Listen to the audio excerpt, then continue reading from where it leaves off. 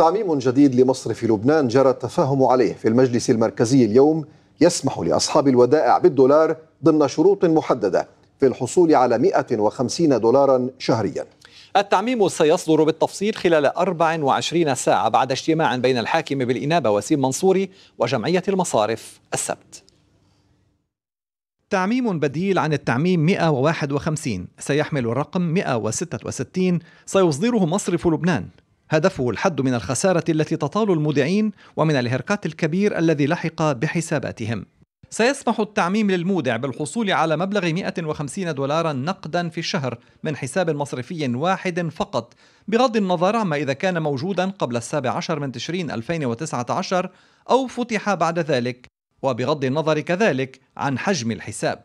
ويفترض به أن يرفع السرية عن حساباته كي لا يستفيد من التعميم من حسابين أو أكثر قد يمتلكها في مصارف مختلفة. يشترط كذلك بالمودع ألا يكون مستفيدا من التعميم 158 الذي يعطيه ما بين 300 إلى 400 دولار شهريا كي يستفيد من التعميم الجديد. وتقدر مصادر مصرفية الكلفة الإجمالية لهذا التعميم بأنها ستتراوح ما بين 360 إلى 450 مليون دولار سنويا تتقاسمها المصارف مع مصرف لبنان.